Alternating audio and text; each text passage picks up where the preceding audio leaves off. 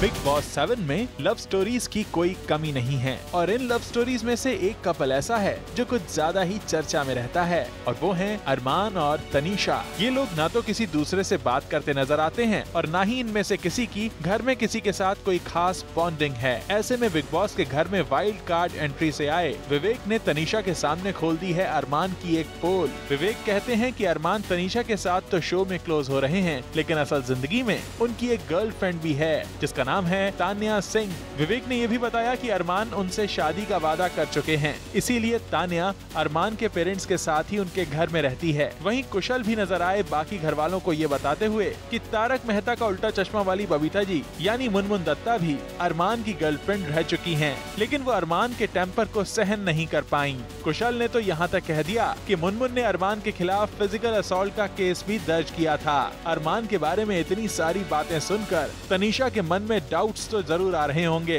अब बस देखना ये है कि तनीषा इन बातों को सुनने के बाद भी क्या अरमान से अपनी लॉयल्टी निभाएँगी